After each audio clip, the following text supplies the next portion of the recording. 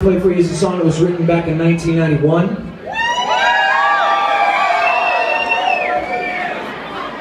Uh, this song was uh, this song was sparked by a conversation that Pete and I had. Uh, we had a rehearsal studio was right around the corner from a bar that we used to hang out at, and we'd go there, drink some beer, smoke some weed, talk some shit.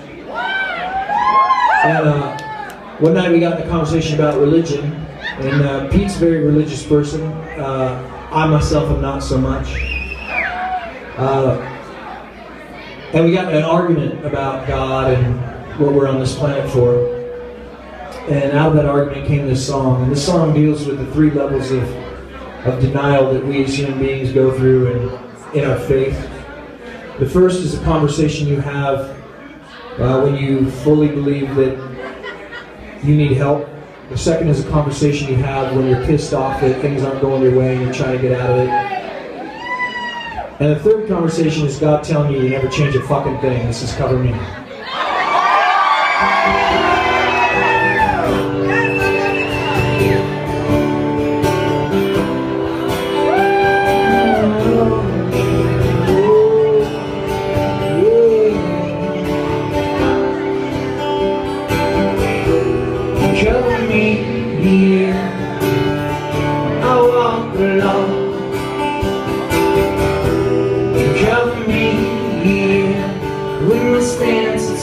You cover me Let's trip on through the sands of time